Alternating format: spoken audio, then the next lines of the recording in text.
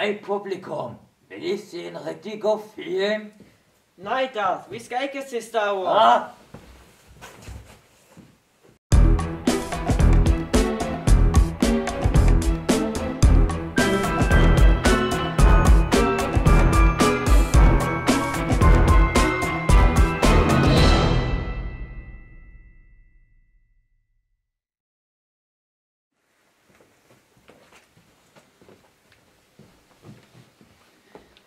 skal vi se i dag? Vi skal se fra den gang, hvor du fandt alle de der huer, og så blev bortført fra den onde maske. Blev jeg bortført?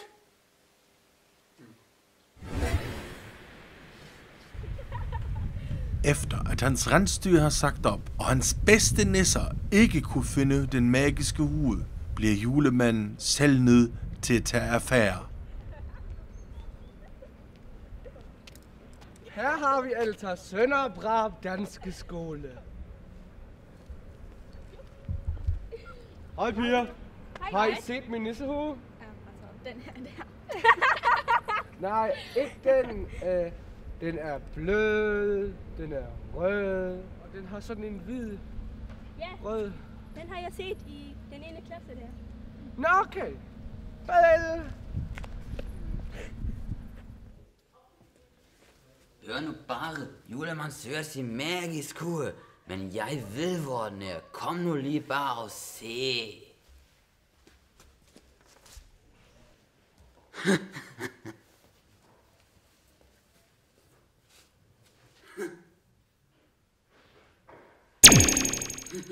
oh, julemand kommer. Oh, oh, oh. Nissehuer. Måske er det også min.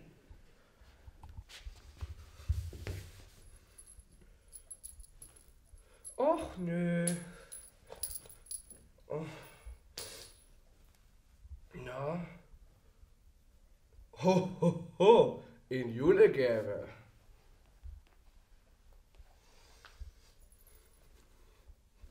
Nå. Nå.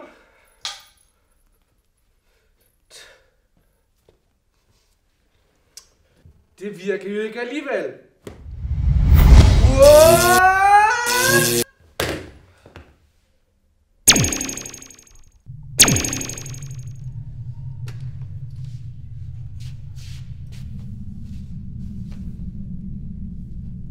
What? Så er der noget specielt. Ja, Hvad? Hvad? vil du vide det? Ja, Woo! Jeg har den her. den har du vist vasket lidt for længe. En julegave. Og nu skal vi spise Hvad får vi så i dag? risengrød. Åh, Ja, ja. Julemanden har et underligt forhold til det der med BH'er, men øh, det er lige så underligt, hvor mange af jer, der spørger sig, Hvorfor dukker Darth Vader hele tiden op? For dem, der ikke skulle have set sidste års julekalender, her kommer forklaring. Velkommen til eftermiddags talkshow med Edeltraut von Kartoffelstængel.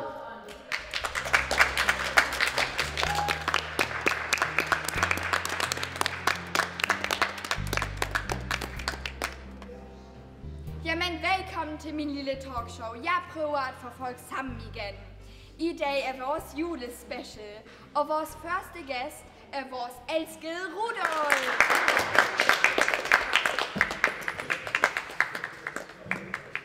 Rudolf, hvordan var din barndom? Min barndom var ikke så. Jeg blev bare mobbet hele tiden. Og jeg lærte aldrig min far kende. Og min mor hun var afhængig af julegrød, og hun kunne heller ikke lade være med at spille julebingo. Du lærte ikke din far at kende. Men så har jeg en overraskelse.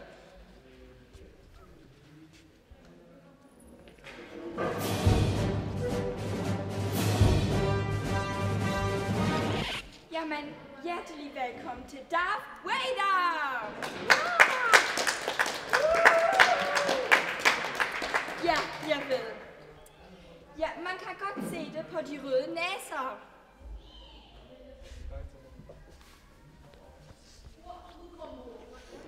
Jamen, er det virkelig min far? Jeg er din far.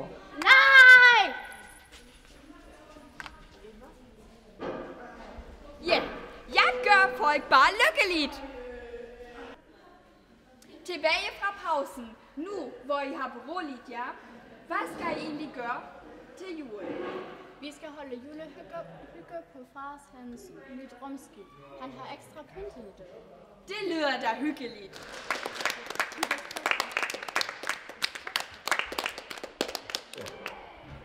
Er der nogle spørgsmål fra publikummet? Men hvorfor kan det være, at Darth Vader har sådan en grim datter? Far, far, dræb hende!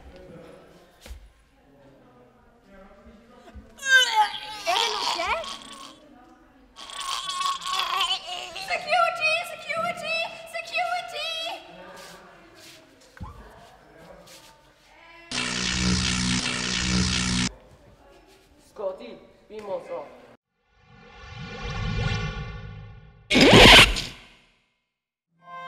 Så er det afklaret. Eller er der flere spørgsmål? Nej? Okay, så ses vi til næste afsnit i morgen.